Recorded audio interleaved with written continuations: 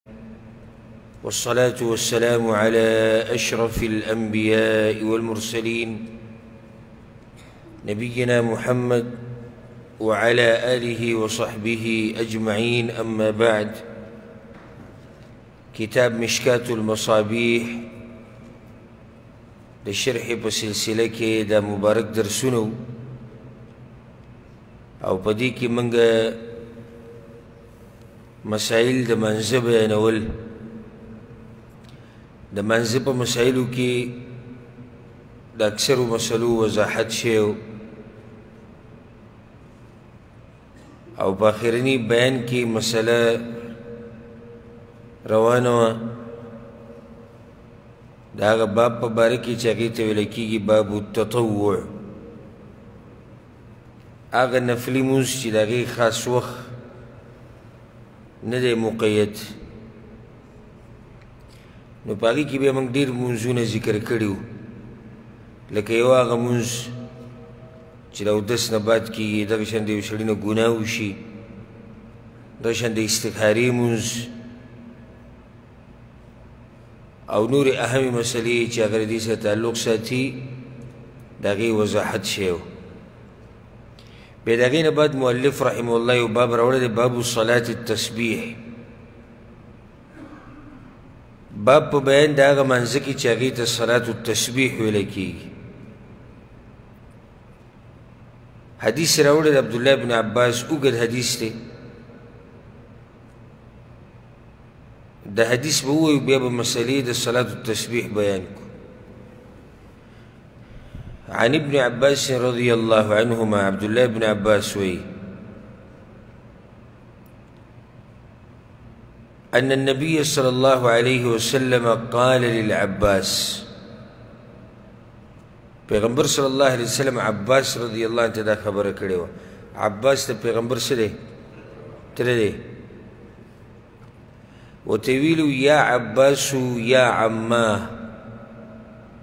ای عباس ای زما تره الا اعطيك الا امنحك الا اخبرك الا افعل بك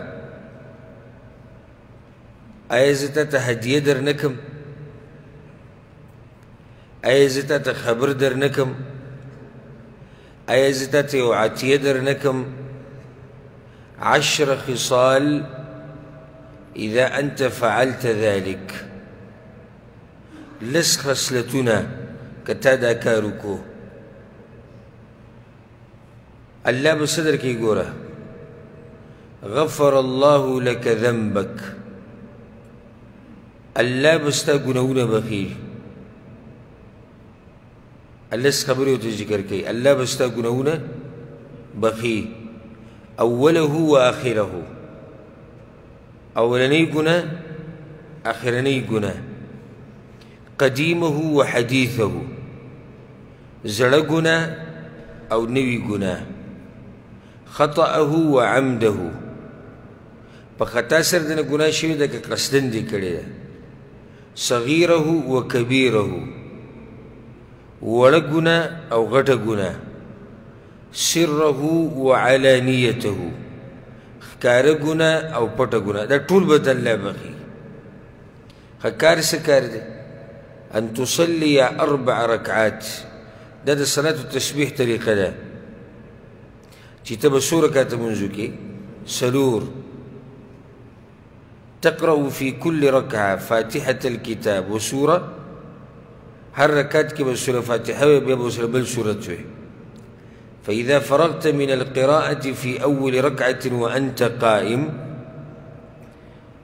چې کله دې سړي سوره فاتحه ووي او به یې سورت وي او د قرت نه فارغ شو دی له ولاړ له رکوع له بله نه ځي نو داسې به ووایي پنځلس پېرې قلت سبحان الله والحمد لله ولا إله إلا الله والله أكبر خمس عشرة مرة سو پیری بوي پنځلس پیری رکوع لاندې ترې ثم تركع باب ركول العرش فتقولها وأنت راكع عشرا باب مدق الذكر سبحان الله والحمد لله ولا إله إلا الله والله أكبر دابا باب ركوك لسبيري ويه ثم ترفع رأسك من الركوع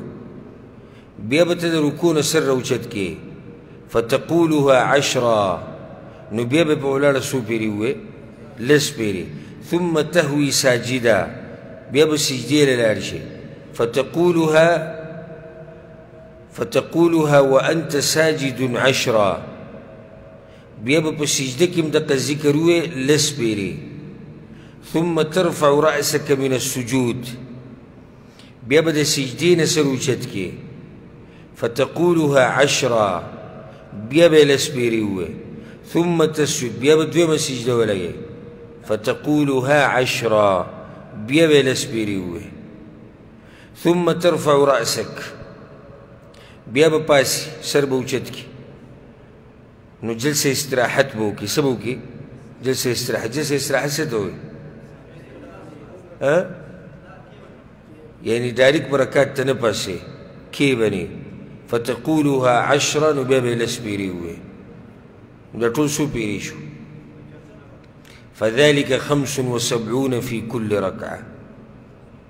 نو دا په هر رکعت کې پنځه او یا پیری شو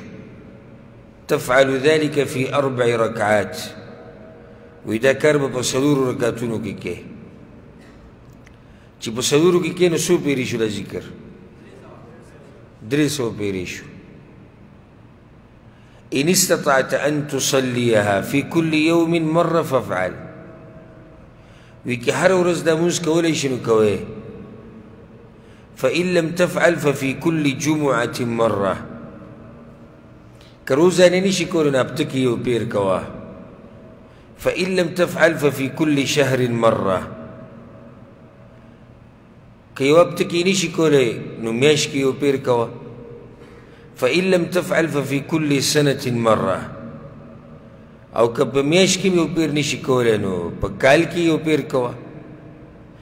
فإن لم تفعل ففي عمرك مره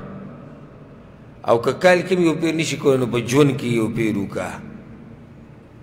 دا حدیث امام ابو داود امام ابن ماجه امام بیهقي راوړی او وی چې وروه ترمذي عن ابي رافع نحو امام ترمذي دي سی روایت دي سی روایت راوړی د ابو رافع نه مسله د صلات التسبيح د اختلافي مسله ده د اهل علم اختلاف دی چې کله موږ اهل علم وایو نو څوک دې مراد دي عوام د علم خاوندان د علم د خاوندانو په دې مسله کې اتفاق اختلاف دی اختلاف په دې دی ایا صلات التسبیح ثابت دی او که نه ګوره بار بار به تاسو د علماو هغه چې کله علمي مجالسو کې کښېنې که نه د علماو سره نو د علماو هغه احسانات به تاسو سره مخې ته کېږي لکه اوس دا حدیث خو مونږ ووایي بیا به کوم اختلاف دی نو مطلب دا چې د حدیث کسې چل شته خه که حدیث باندې اتفاق کو چې صحیح دی سندن نو بیا پکې اختلاف راتلی شو بیا نشو راتلی اختلاف لکه اوس یو مسله حدیث کې رااله چې پیغمبر به دا چل کو حدیث صحیح دی یا په صحیح بخاری یا په صحیح مسلم کې یا بل کتاب کې د سند برابر دی څوک اختلاف کوي نشي کولی بیا به بل څه چلی چې اختلاف کوي خو چې دلته اختلاف ته نو بیا څه چل شته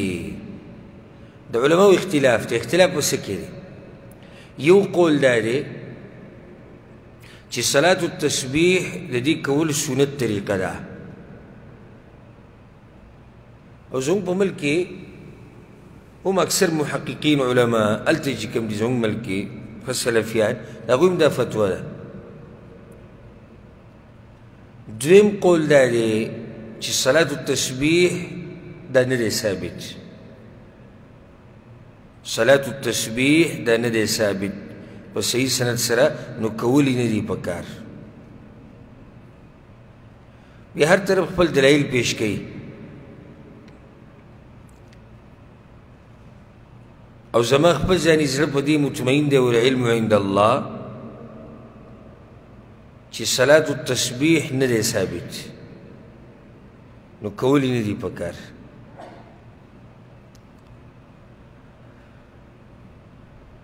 او داسې زما رای نه دی چې ما دې شي ووي دا مسله د پوخانې اختلافي را روانه یوه بل دې طرف ته د امت غټ علما دي اصل کې د اختلاف په دې حدیثونو کې راغلی څومره حدیثونه چې دې منځه باره کې راغلي دي هغه ټول کمزوري دي صحیح سند پکې د دې دی لکه ګزاره حال او په دې کې هم د علماو اختلاف دی چې صحیح دی او که نه دی دا روایت د عبدالله بن عباس ته دا ګزاره حال دی هغه نور د دین هم کمزوري دي نو بعض علماو دا ویلي دي وي کمزوري چې کمزوري سره جمع کړي نو سنه ستي سنه ستي جوړ شي که خو موږ دا وایو چې کمزوری جمع کمزوری جمع کمزوری او جمع کمزوری نتیجه ښه ډېر کمزوری سم خیال دی هغه وایي نه کمزوری جمع کمزوری جمع کمزوری جمع کمزوری نو څه نصیتې جوړ شو او ته دې چې دې مسلې څه اصل شته موږ وایو نه شریعت کې الحمدلله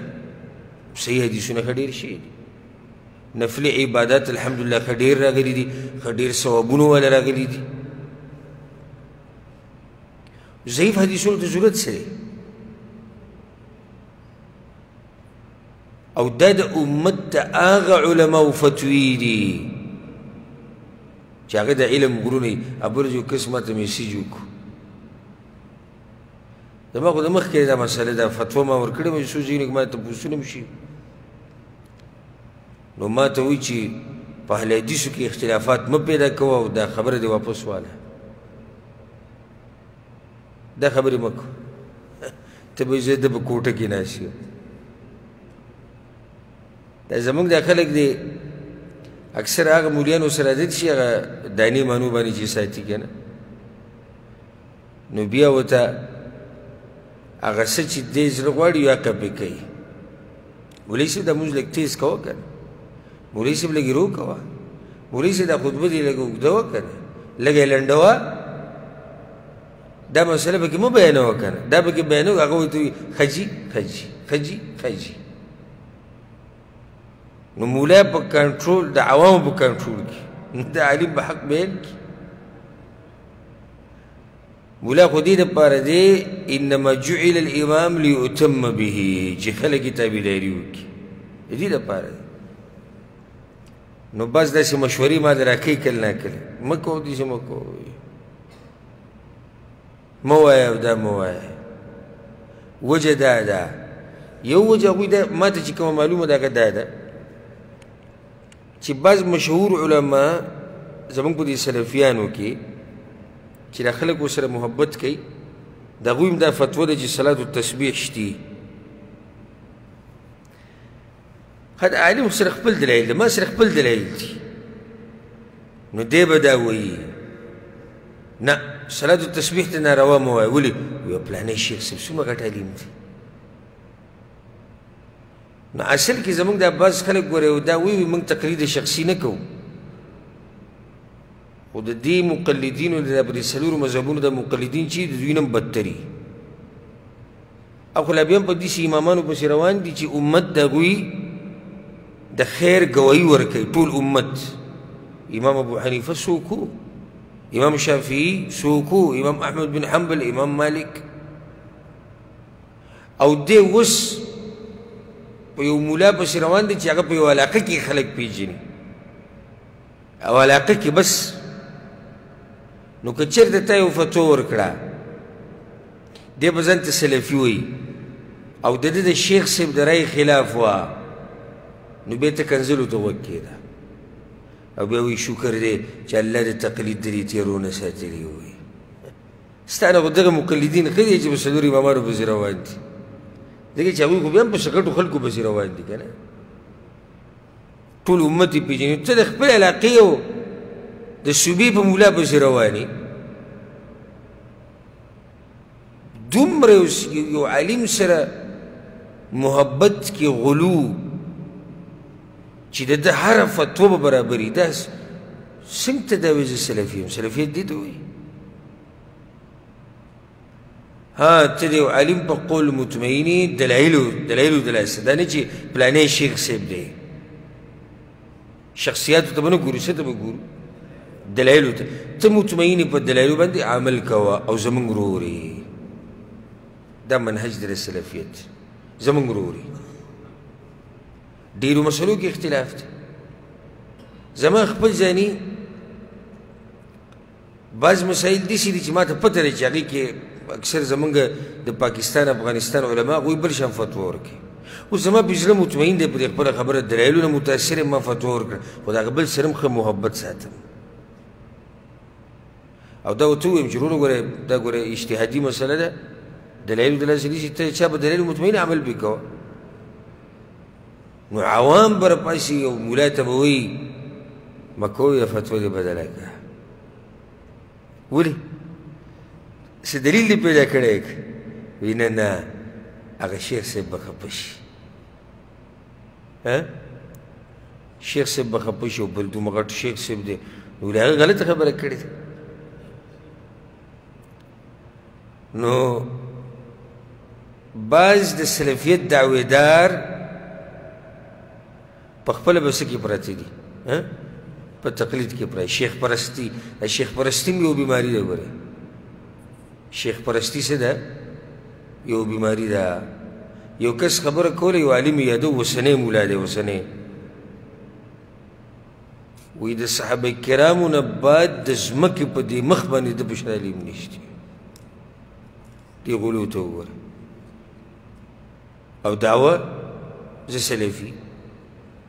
دا سلفیت دي څه شی دی چې ته صرف په ځان باندې لیبل ولګوه بیا چې څه کوې کوه نه یو منهج دی ما خبره ده کوله چې زما خپل ځاني ګوره د هغه علماو په قول زړه مطمئن دی کوم چې دا وایي چې صلات التسبیح نشته سړی وایي چې خطا ده ووایي نه د امت داسې علما چې هغه په علم کې غرونه یې واوره امام احمد بن حنبل رحمه الله وایي دا ګوره زه یو څو اقوال ذکر کوم د یو څو علماو که زه دې ته کښېنم او راجمع کوم یې نو یو غټه سلسله ترې جوړېږي خبره به یې ډېره اوږدي امام احمد بن حنبل رحمه الله په څلور امامانو کې یو مشهور امام دی هغه وایي لیس فیها شیء یصح صلات التسبیح باره کې داسې حدیث نشي چې هغه دې صحیح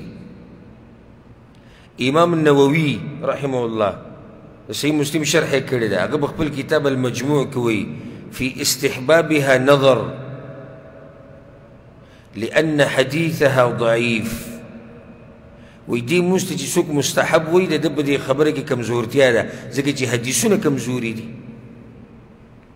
امام ترمذي وایي وی دې باره کې داسې ډېر صحیح حدیثونه نشته امام عقیلی رحم الله وایي ليس في صلاة التسبيح حديث يثبت صلاة التسبيح باره کې ثابت صحیح حدیث نشته شيخ الإسلام ابن تيمية رحمه الله وي لم يقل به أحد من الأئمة الأربعة په سلورو امامانو کې امام ابو حنیفه امام مالک امام شافعي امام احمد بن حنبل یوم نه دی ویلي چې دا مون ثابت دی شیخ ابن عثیمین رحمه الله هغوی دا مونځ نه دی ثابت د سعودي عرب د غټو علماو چې کومه کمیټي د هیئت کبار العلما د هغوی دا فتوا ده چې دا مونځ نه دی ثابت الامام المفتي العلامه عبدالعزیز بن باز رحمه الله وی اسانیدها معلوله ټول سندونه کمزوري دي امام ابن حجر رحمه الله وی وی طرقه كلها ضعيفه د دې حدیثونو چې څومره طرق دي څومره اسانید دي ټول کمزوري دي امام شوکانی رحمه الله وی لا یصح نه دی ثابت دی مونږ او شیخ ابن عثیمین رحمه الله ډیره قیمتي خبره کړې ده یوه اصل په عباداتو کې څه دی توقف اصل دا چې عبادت به نه کې مګر هغه عبادت چې په شریعت په دلیل باندې ثابت اصل دا دی چې عبادت به کې که نه به کې اصل دی چې نه به کې مګر هغه عبادت به کې چې د هغې دپاره صحیح دلیل وي نو موږ په خپل اصل باندې یو څوک چې وایي صلات التسبیح شتي هغه یې ثابتوي ورته وایي راوړی یو صحیح دلیل عبادت خو ته ثابت یې کړه اصل باندې خو موږ ولاړ یو چې وایي نشتي صلات التسبیح دی وایي نشتي صلات التسبیح چې شتي صلات التسبیح دلیل راوړه خو صحیح دلیل راوړه ما دې غټو محدثینو اقوال به کتاب سره ذکر کړو یو ټول طرق کمزوري ټول اسانید کمزوري دي دویمه ده که محدثینو کې چې صلات التسبیح د موږ راغلی دا مسترب دي ټول په خپله اضطراب پکې دی د یو بل سره ټکراو خوري په یو کې یو شان خبره کړي په بل کې بل شان کړي په بل کې بل شان کړي که دا ثابت وي نو ټول به څه یو شان به وي دریمه خبره دا ده چې دې سلورو امامانو کې نور مشهور امامان د دین او دې ته مستحب نه دی ویلې سلورمه خبره دا ده که دا مونږ ثابت وي اوس تاسو نه سوال کوم تاسو نه دا مونږ اکثر امت ته معلوم دی که نه دی معلوم نه دی معلوم اکثر امت ته دا مونځ نه دی معلوم دا هم یو دلیل دی چې دا مونځ نه دی ثابت وجه دا ده که دا مونځ ثابت وی او دومره لوی اجر پې دی د حدیث کې ګوره څومره اجر ذکر شو معمولي اجر نه دی که نه اولنۍ ګناه اخرنۍ ګناه زړه ګناه نوي ګناه خطايي ګناه قصدن ګناه غټه ګناه وړه ګناه ښکاره ګناه پټه ګناه دا ټول به بخلی کیږي نو بیا خو به د موږ امت یو یو فرد ته هر چا ته معلوم وي چې دومره فضیلت دی نو بیا خو به د موږ په امت کې څه وي مشهور به وي عام به وي د موږ لکه د نورو منځونو ته وګوره ځه د اودس نه بعد دوه رکعته کول امت کې مشهور دی که نه دی مشهور دی جمعه ته چې رانوځي دوه رکعته کول مشهور دی که نه دی چې څوک د ورځې دولس رکعته سنتو کې الله وله په جنت کې کور جوړي دا مشهور دی که نه مشهور مشهور دی دغه شان د اشراق مونږ شو مشهور دی صلات الضحى مشهور دی او دې سي بیا ځا خو دې حدیث کې دومره لوی اجر او دا امت کې مشهور نه دی نو که چېرته دا صحیح ثابت وي نو دا به امت ته رانقل شوی بغیر د شک نه خو امت ته خو داسې نه دی راغلی بل دا اجر پکې ډېر زیات ذکر کړی دی لکه دا بعضو علماو دلته ویلي چې دا ناشنا خبره ده اولنۍ او اخرنۍ ګناه ټول هر څه به ورته وبخي بیا دې ته وګوره اجر د ټولو یو شان کړی دی اصلي کې سوچ پکار دی وایي دا مونځ روزانه کوه څه کوه او که روزانه نه شي کولی اب ټکی وپیر نشي کولی میاش کې میاش کې نشي کولی کال کال کې نشي کولی عمر کې او اجر ټول یو شی کمی چې روزانه کې دا هم دغه اجر دی کمی چې کال کې کې دا هم دغه او کمی چې عمر کې کې دغه دا هم دغه اجر دی بعض علماء دا خبره ذکر کړې ده وی د دې منځه طریقه ماغه نه ده کوم سره چې دا خلک عادت دي لکه اوس د رکوع نه مخکې سبحان الله والحمد لله ولا اله الا الله اکبر لس پیرې وایه بیا په رکوع کې پنځلس پیرې عفوا پنځلس پیرې وایه او بیا په رکوع کې لس پیرې وایه او بیا د رکوع نه چې ودرېږي بیا لس پیرې وایه او بیا چې سجده کې لس پیرې او بیا چې راپاسې لس پیرې او بیا چې لاړ شي لس پیرې یعنې دا طریقه هم څه ده ناشنا ده د لمانځه طریقه څه ده ناشنا ده نو زما خو خپل ځاني مسله ماته اوس چې اختلافي ده که څوک د نورو علماو د دلایلو نه متاثر وي نو موږ څوک مجبوره کوو نه ګورئ چې زما په خبره به عمل کې ما ته چې کومه خبره مضبوطه ښکاره کېده هغه مې تاسو ته بیان کړه اوس که یو سړی د بل عالم بیان اورېدلی او هغه پکې تفصیل کړی او دلایل بیانوي او یو شی او بل شي او دې ته متاثره شوی عمل کوه او که څوک زما په دې خبرو متاثر وي دوی دا مونځ مه کوه خو دا داسې مسلې نه دي چې موږ پرې د یو بل سره څه وکړو جګړې وکړو دلته بل یو فائدہ عام منځ کې زمونږ د ملک مولیان او احناف علما جلسه استراحت نه مني مني نه مني جلسه استراحت دي دوی ته درکات د دوی مسجدین را پاسي او ډایرک بنه ودرېږي کې بني بیا به پاسي د سنت طریقه ده د سره سنت طریقه ده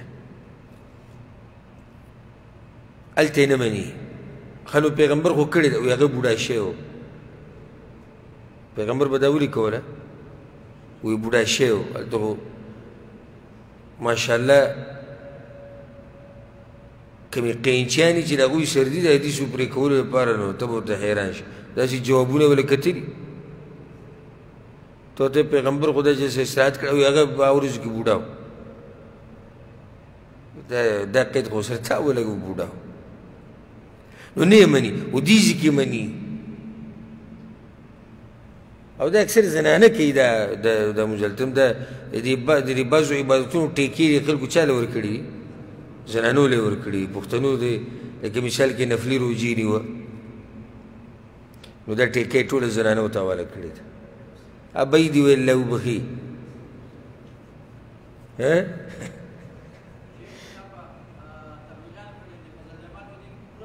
دا ټول ټول عام دي دا عام دي به وکړي عام دي نو یا به د الله وبخښي هغې به د پیر او د جمعې جمرات روژې نه ووایي ته زموږ خو کار یو منډي او دغه یو نو اکثر دغه زنانو ته ډي ځینې ټلیفونو کي ډي ځینې مور ته ټلیفونو کي یعنی یو ختم را لو کوي توبه نه ختم سی چلولي وي کار مې نه کېږي نو ته وکړه ختم کړه یو د توپاني ختم کوم ځای کې دی دویمه یو کس د بل نه ختم کولی شي دا مسله ده ته څنګه هغې ته ختم ته قرآن رواله وی وایه که نه نه په خپله نه قرآن وایم نه مونځ کوم وایي نه روجې نیسم خو نیا به یې راله کوي مور به لکه یو به شغال ته به راولېږي ورته ټول ته پته ده تاسو ټول ته هلته به راولېږي او سپارې تقسیم کې په ښځو باندې او یا د صورت یاسین ختمونه شروع کړي او یا د ګیټو ختمونه شروع کړي او یا د مرچکو ختم شروع کړي او قسمه قسم ختمونه دي پکې نو دا موږ د سره د تسبیح عام دی زموږ په علاقو کې او بیا اکثر د زنانه کوي اکثر سو کی کوي زنانه کوي من اکثر خلک دې باره کې تپوس کوي او دې سی بیا ما ته وایي ډېرو پکې راته ویلي چې یاره شیخ صاحب دا مسله څه نوي غونته کېده نه نوي نه ده دا امام احمد بن حنبل نه ویلي اوسنی دی ها د شیخ الاسلام ابن تیمیه رحمه الله ابن حجر او نووي او شوکاني او د اوسني ریس بهرحال مسله څه ده اختلافي ده موږ خپل نظر چې کوم هغه بیان کو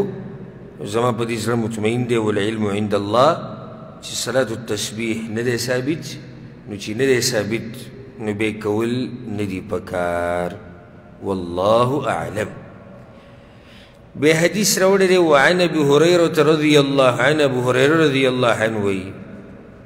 قال سمعت النبي صلى الله عليه وسلم يقول وی ما د پیغمبر صلی الله علیه وسلم دا خبره اوریدلې ده ان اول ما يحاسب به العبد يوم القيامه من عمله وی اولنې حساب چې به د بنده سره کی د د په اعمالو کې نغه مونږ دي د قیامت پر ورځ اولنې حساب به د صبر کیږي منځو برکه فإن صلحت فقد أفلح وأنجح کمونځي برابرو د سړی کامیاب شو ان فسدت فقد خاب وخسر او که مونځ یې برابر نه و نو دا سړی تاواني شو تباه شو فإن انتقصا من فريضته شيء او که دې فرضي مونځونو کې څه کمی راغی حساب ورسره الله وکړو او منځ کې څه راغی کمی قال الرب تبارک وتعالی الله بیا دا ووایي ملایکو ته انظرو هل لعبدي من تطوع وګورئ زما دې بنده څه نفلي منځونه خو نه دي کړي فیکملو بها من تقص من الفریضه نو بیا په دغه نفلي منځونو باندې هغه کمې پوره کړی شي کوم چې فرض منځ کې راغلی دی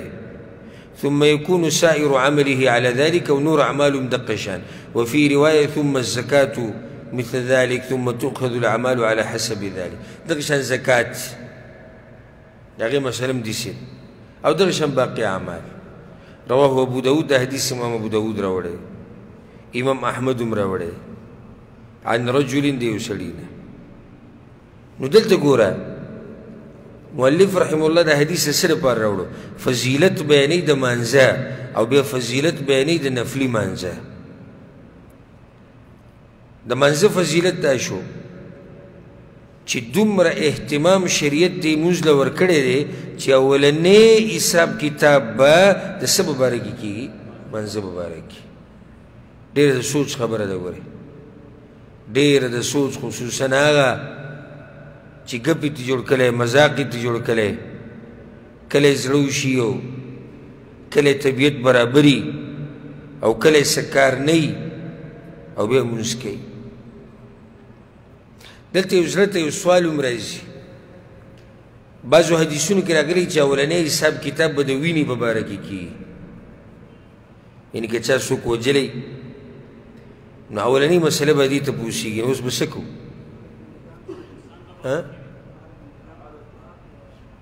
بارک الله فیک دا حدیثونه به دې جمع کوو چې د الله په حقونو کې چې کله تپوس کیږي نو هغه به د منځه په باره کې اولنې تپوس کېږي حقونه خو په دوه قسمه دي که یو حق د الله دی او یو حق د بندگانو دی حق د الله چې کله د دې په باره کې تپوس کېږي نو اولنې تپوس به د منځه په باره کې او حق د بندگانو چې دې کې کله تپوس کېږي نو اولنې تپوس به د وینې په باره کې کېږي حق د بندګانو دې کې چې کله اولنې تپوس کېږي نو هغه به د وینې په باره کې کېږي ځکه چې د انسانانو د وینه مسلمانانو د وینه د ډېره قدرمنه نو دلته فضیلت د منځه بیان شو وی کدی مونږ کې د کامیاب شو مخ کې کامیاب دی او کدی کې ناکام شو مخ کې ناکام دی یو سړی دیګه رجوع له زور ور کړی ها د باز وغه روجي خو تاسو لیدلی کنه سهار منځنه بعد ودی شي او ماخام ته پاو ست پاتې را پاسي دې کال لوی پر وجود سره پوه نه شو ډېر خوږې روجي وي ته په څه پوه شي ته پاو ساعت مخکې راپاڅېدې او کجوری خوله کي او د ټیکدار په ګاډي پسې منډه وایي یعنې دومره په کوم بیا نشتی چې لږ صبر او یا اذکار او یا سنت او نه نه نه نه یو غوبل جوړي خو چې کله دنیا له داسې منډه جوړه حالانکه دغه ټیم کې د سړي دا سر سم درونی او سړی وي چې پرېوتی و تلای کې مړی که خو په تلای کې نه پرېوځي پرېوځي ولې ځکه چې ریال دی او د عبادت ته ویل کراشه د جنت دروازې کولاوي دي د جهنم هغه بند دي شیطانان تللی شوي دي الله هر شپه خلک د اور نه ازادوي راشه تر اوله راشه درس لا راشه چې د جومات کې کېنه قرآن ختم که نه او زه چې روژه ونیسم وایي معده مې خالي شي راځي دلاسه ګیس جوړ شي ګیس سر ته وکړي چې سر ته وکړي زما له خوب راشي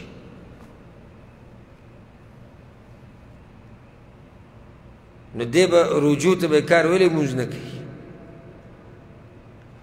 بعض به د ذکر او اسکارو اهتمام کوي خو رجوع ته به کار ویلی مونځ به نه کوي او بعض به ذکر او اسکار ته کار ویلی او مونځ به مونځ به نه کوي نو دغه اعمال فایده ورکوي یو سړی مونځ نه کوي بل عمل فایده ورکوي نه ورکوي دا حدیث دی دا پې دلیل دی دی وخت یو قصه مې ذهن ته راله ما چې اول پیر کله بیان کو په هغه وخت کې زما عمر به داسې شپاړس کاله د دې خوا او شا کې و نو زما ډېر شوق و ډېر زیات شوق و چې زه بیان وکړم ما دا قصه مخکې تاسو ته بیان کړې وه نو خو دلته سعودي عرب حکومت خو ښکلی نظام دی الله دې ولکه طاقت ورکړي چې بیان او درس به هغه سړی کوي چې هغه په تله کې تللی شوی په تله کې تللی شوی اوس پاکستان دی او انډیا افغانستان په اساو چې زړه کې دې سره ځي وایه ته ځان له مفتي او ځان له مولای او ځان له چې څه بیانې بیانوه څوک تپوس کوي نه نو به څه وکړم زما د بیان سره ډېر زیات شوق نو بیا یو مخکې بله علاقه کې مو اوسېدو هلته یو امام و هغه سره ما خبرو کړه ډېر ښه سړی و روژه وه ما چې دې کسانو ته نصیحت کوم وي ته به نصیحت کوې موږ به ته انکار وکړو راځه بس سبا راځه وي نو سبا ورځ د څه وه د جمعې وه او دغه علاقه چې کومه زه یادوم هغه بطحا موږ خلکو ته بته وایي دغه بته کې زمونږ کور و مخکې او مازیګر مازیګر منځنه بعد او د جمعې ورځ جمعه داسې ډکو چې سم او بیان خو ما په اردو کې کوم ما که څه ما زه په اردو کې خبرې کوم دلته اکثر اردو والا خلک ټول دغه چې زه ورننوتم ما دې جومات ته وکتو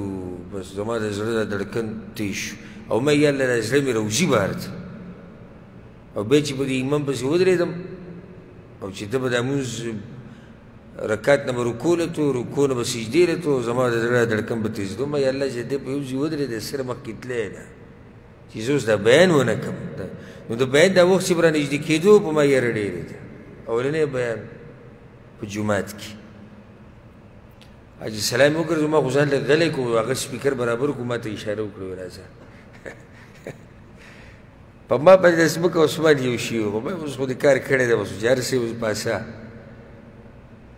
نو زه پاسې نه هغه ماته وکیو د سرسایي مسلې وته بیان کا ما په دې ځل کې موږ د څنګه مراغستې وته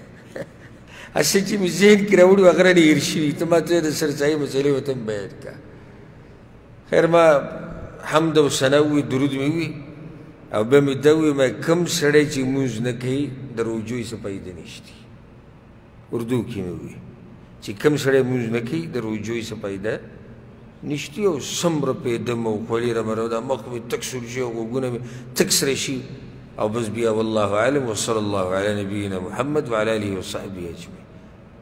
هغه امام غریب ډډه ولګول لکه هغه ډېر خوشحاله کېناست چې زه به وګورم نصیحت چلېږي او د جمعې ورځ ده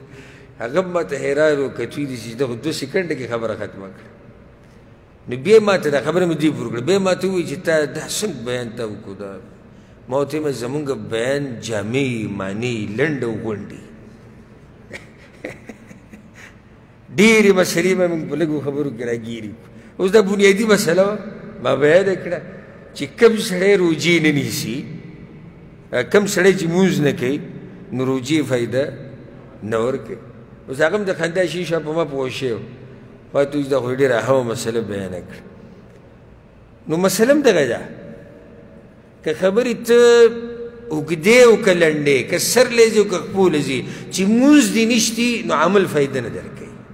و دا یاد که په زړه ولیکه مونځ نه کې روجې فایده نشي ذکر او اذکار فایده ځکه چې ته مخکې هلته مخکې نشي تللی د حدیث کې څه وي وی که دا مونځ کې دی کامیاب شو خو مخکې به لاړ شي که نه او چې کامیاب نه شو نو څه شو شاته پاتې شو باقی چې کوم اعمال دي پای کې هم دې شاته پاتې شو نو د منځه اهتمام دویم دویم مسله په دې حدیث کې فضیلت د نفلی منځونو بیان شو او دې لپاره په اصل کې حدیث راوړی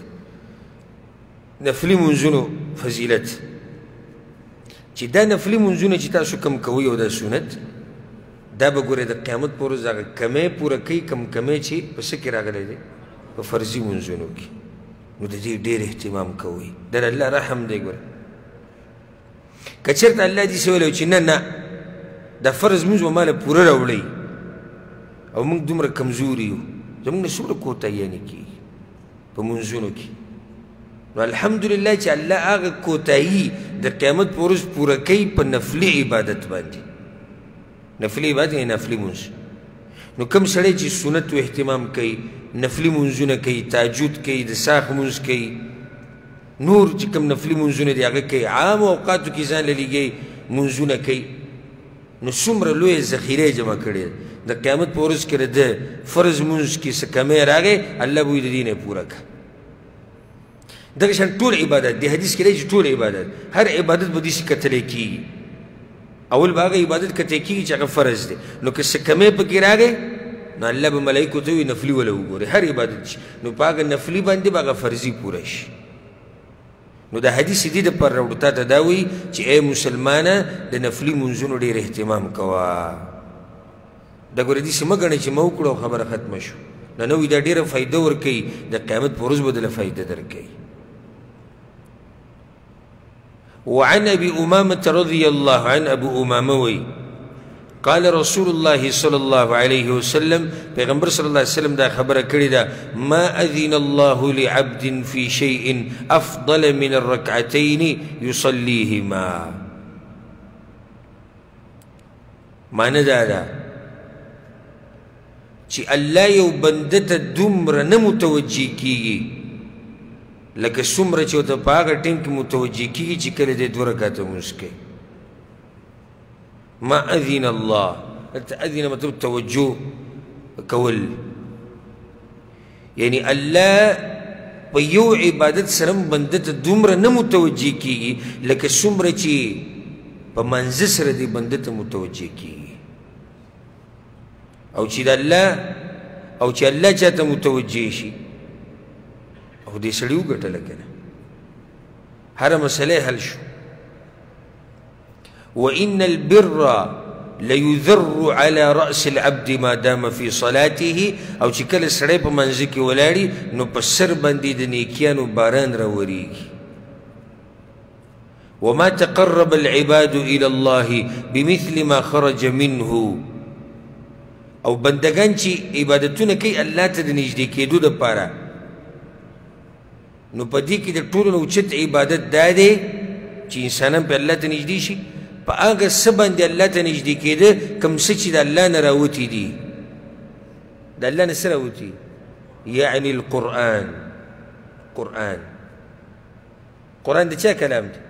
د الله کړه خو د الله نه راوته الله ویلي دي دا خبرې چا کړې دي الله کړې مطلب دلته دا شو یعنی یو بنده که الله ته نږدې کېږي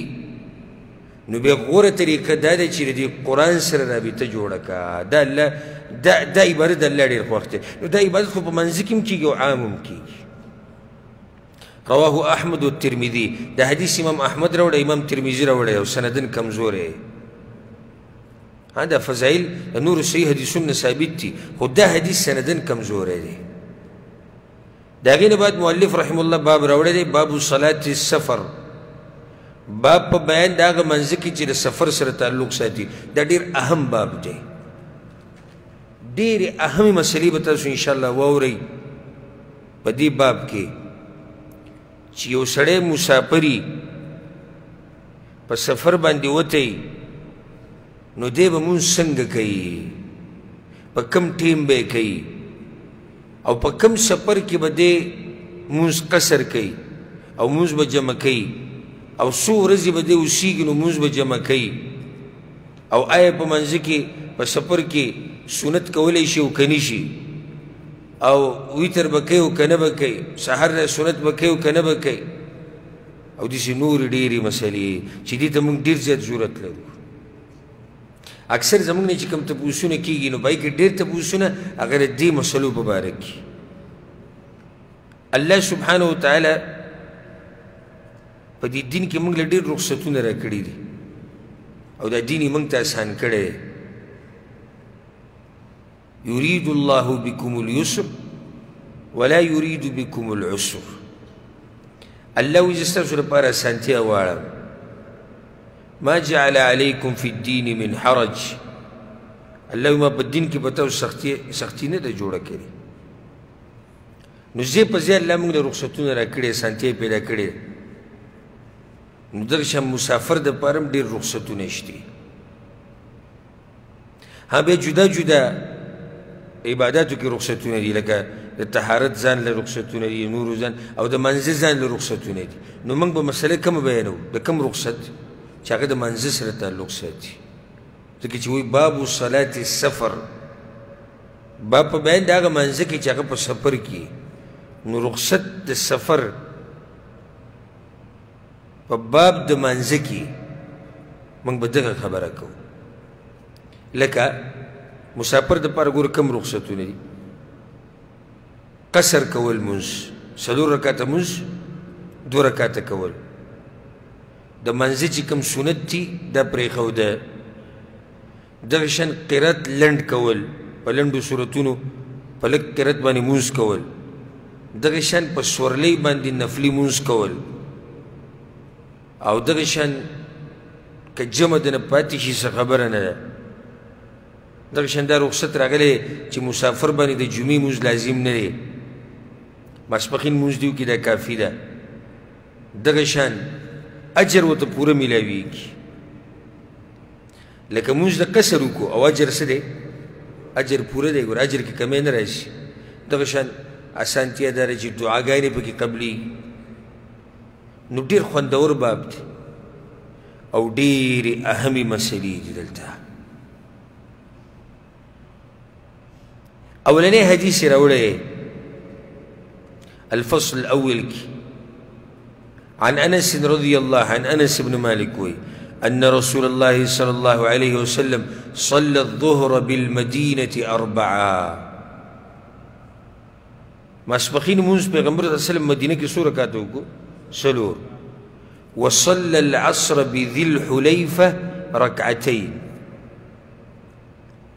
او په سفر باندې ووتو چې کله ذل حلیفه ته ورسېدو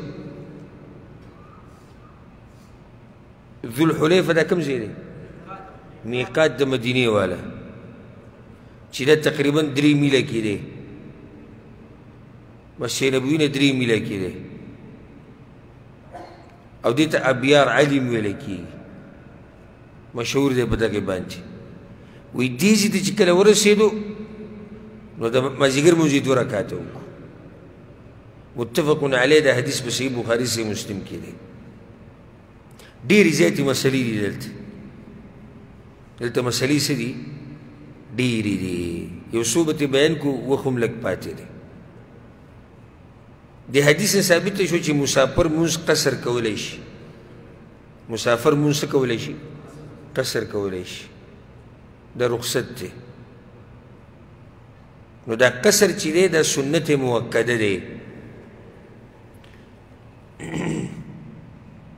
او مونځ پوره کول مکروه دی قصر سنت مؤکده ده او موس پوره کول مکروه دي بعض علماء دا ویلي دي وی په سفر کې به موس لازم قصر کې واجب دي چې چا پوره موس کو ګناګار دي د دلایلو پرانا کې دوی خبر ډیره مضبوطه ده وجدای چې تر پیغمبر نه ثابت چې هغه چرته موس پوره کړي نو بیا ولې وته موږ سنت وایو دې قصر ته یو سړی ما ته ویلی شي چې بیا ورته ته هم واجب ووایه وجه دا ده چې د بعض صحابه کرامو نه ثابت دي چې هغوی مونځ پوره کړی دی یو حدیث کې داسې هم راځي وی عائشه رضی الله عنها په یو سفر باندې د پیغمبر صلی الله علیه وسلم سره وه او مونځ یې پوره وکړو او پیغمبر صلی الله علیه وسلم ته خبر شو څه ورته ونه وي دې ته حدیث تقریری وایي. که دا قسمه حدیثونه نه وی، یو دا او یو د صحابه کرامو بعضو صحابه کرامو نه ثابت دي چې هغوی لمونځ پوره کړی دی، نو موږ به دا ویلی وی چې په سفر کې لمونځ کول څه دي؟ واجب دي. خو د دې حدیثونو نه مجبوره شوي یو. نو په سفر کې مونږ قصر کول مضبوط سنت دی د پیغمبر صلی الله علیه وسلم د پیغمبر صلی الله علیه وسلم نه قطعا نه دی ثابت چې هغه دې په خپل مونږ پوره کړی او هغه د تقوادارو څه دی امام دی هغه د پرهیزګارو امام دی موز پوره کول مکروه دی غوره کار نه دی په سفر کې به موز پوره نه کی بله قصر په کومو منځونو کې راځي ماسپخین مازیګر ماسخوتن ماښام سحر مانځ کې قصر نشتی ځکه چې دوه رکعات دي ماښام ویتر دی د ورځې نو دې کې نشتی اوس یو پیر روانو حج کې د عرفات د مزدلفې ته پیاده روانو نو بیا خو به مونځ کې په لاره کې یا مزدلفې ته که ورسېدې نو کم مونځ به کې ماښام او مسوتن دا به یو ځای کې قصر او جمع قصر او جمع بس زه د مزدلفې د حدودو ته نږدې وم دغه ځای کې جمع ولاړه وه ټیم هم شی بس زه ودرېدم یو پنجابی مخکې شی و هغه امامتي کوله سړي دوه رکعته لمونځ وکړو سلام یې وګرځو بیا خلک ودرېدو هلکه ما تاسو خو د ماسخوتن لمونځ ونه کړو ما دا سوچ چې دوی ماښام کړی دی نو اوس دا د ماسخوتن لمونځ دوی وکړو دوه رکعته وی نه دا موږ د ماښام وکړو اوس موږ د ماسخوتن کوو نو ما د ماښام لمونځ هم دوه رکعته وکړو وی وی کیوں اس میں قصر کا نہیں کہا گیا نو میں قصر کا کہا گیا ہے وہ مقام کی قصر کم سی کی دے نو داسې ما ته بد بد کتو ا د دغه کسانو مشر دی په صورت تعصب ډېر بد شی دی تعصب ډېر بد شی دی نو داسې ما ته بد بد کتو لکه نه هاوي او نه ناوي نه زما خبرې ته صحیح او نه غلطه نو دغه مولوي صاحب چېرته دی قافلې سره راغلی یا دغه اکثر مولیان هم نه دا ورقې ډکې کی خپل نوم پکې ولیکي د پیسو دپاره مولا هم نه ګیرې پرېښودي او بس پاڼې مڼې اکثر پکې واسطه چلیږي نو په دې پکې حج هم وکړي او دغه هم وکړي نو هغه بیا هغه عوام غریبانو ټول هغه ته کېدو چې یو صاحب و جواب ورکړه نو سخت ورته حیران شوی وم بد دا پکې اوس نوي مسله راووته ماښام منځ کې قصر کوم ځای کې دی نو ماښام کې قصر نشته قصر به کوم منځ کې راځي ماسپخین مازیګر ماسوتن بس سحر او ماښام کې قصر نشته دی حدیث نه ګوره بل مسله ثابته شوه چې قصر به کله کې یو سړی په سفر ووتو کله به قصر کې چې کله د خپل کلي نه ووتې لکه بعض علماو دا ویلي وي تا چې د سفر اراده وکړه نو سته قصر کولی شي لکه خپل کور کې هم کوه لکه اوس یو سړی وایي چې زه مازدیګر لمانځه نه بعد وځم په سفر باندې نو هغه وایي وایي د مازدیګر لمونځ ته په کور کې دوه رکعته کولی شي ولې لکه چې سفر اراده لري خو داسې د پیغمبر صلی الله علیه وسلم نه ثابت شي دا طریقه وه د پیغمبر صلی الله علیه وسلم ګوره د مدینې نه ووتو مدینې نه ووتو دا خو اوس کې یو سړی و چې میقات خو نږدې دی هلته به ګاډي کې ګرځي بله دا چې آبادي کوم ځای ته ورسېده هغه وخت کې خو مسیح نبوي خوا کې یو څوک کور نو په هغه وخت کې د مدینې نه مسیح نبوي نه ذوالحلیفه ته تله دا ښه کافي مسافه ده درې میله مسافه ده او بیا په اوښ باندې او په اس باندې نو دې نه بله مسله دا ثابته شوه چې د سفر په رخصتونو به هله عمل کوې چې د کلي نه وځې کوم ځای کې چې ته کلی ښار چې څه دي چې ته د دې ځای نه څه شې وځې ډېرې مسلې پاتې شوې دا به انشاءالله روان درس ته پرېږدو او دا یو څو مسلې ثابتې شوې چې تاسو ته معلومې اهمه پکې دا و چې قصر په سفر کې څه دی سنت مؤکده دی پرېښودې نه دي په کار او مونځ پوره کول دا مکروه دي لکه حدیث ګور په صحیح مسلم کې حدیث دی ښه واضحه فرض الله على لسان نبيكم في الحضر اربعا وفي السفر ركعتين ګوره پیغمبر صلی الله علیه وسلم وایي دا دې روایت کې دی چې الله سبحانه وتعالی لازم کړی دی علی لسان نبیکم ستاسو د پیغمبر په جبه باندې په حضر کې چې خپل ځای کې نو څلور رکعته لمونځ کوه او چې په سفر کې نو بیا دوه رکعته کوه یو روایت کې راځي امام نسائی راوړی دی ان الله امرنا ان نصلي رکعتين في السفر الله موږ ته امر کړی دی چې په سفر کې به څو رکعته لمونځ کوئ دوه رکعت او د پیغمبر صلی الله علیه وسلم نه ثابت چې هغه چې ته لمونځ په سفر کې پوره کړی هغه به همیشه قصر کوو ان شاء الله دا نورې مسلې به پرېږدو روان درس ته او هغه ډېرې اهمې مسلې دي چې زه څومره سفر وکړم نو بیا مونځ لنډولی شم او یا دوه مونځونه یو ځای کولی شم څو کیلومتره دا مسله به بیان کړو انشاءالله روان درس کې بیا څو ورځې چې زه هلته اوسېږم نو د سفر په رخصتونو عمل کولی شم